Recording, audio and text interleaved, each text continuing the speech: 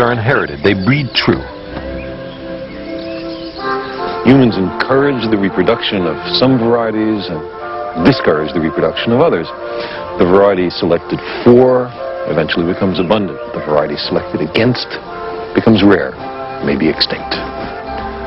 But if artificial selection makes such changes in only a few thousand years, what must natural selection, working for billions of years, be capable of? The answer is all the beauty and diversity in the biological world.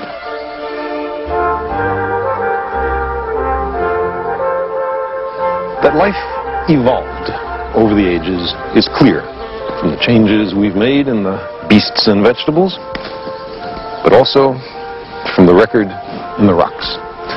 The fossil evidence speaks to us unambiguously of creatures that were once present in enormous numbers and that have now vanished utterly. There are far more species that have become extinct than exist today. They're the terminated experiments in evolution. These guys, for example, the trilobites, appeared 600 million years ago. They were around for 300 million years. They're all gone. There's none left. But in those old rocks, there are no fossils of people or cattle. We've evolved only recently. Evolution is a fact, not a theory. It really happened.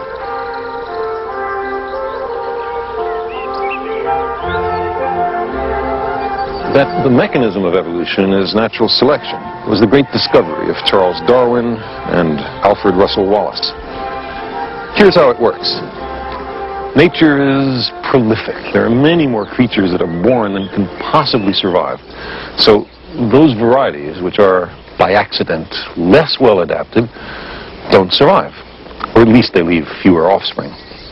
Now, mutations, sudden changes in heredity, are passed on. They breed true.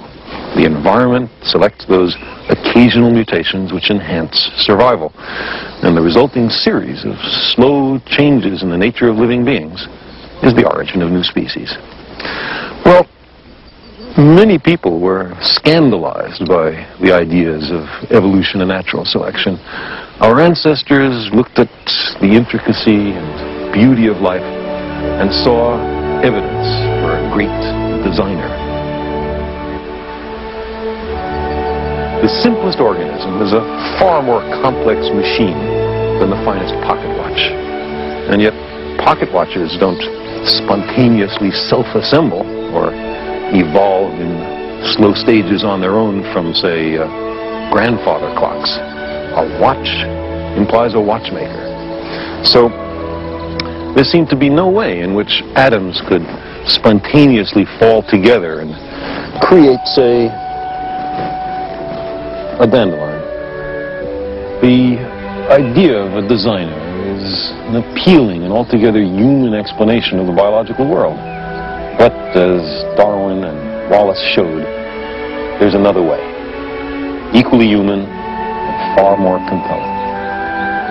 Natural selection, which makes the music of life more beautiful as the eons pass.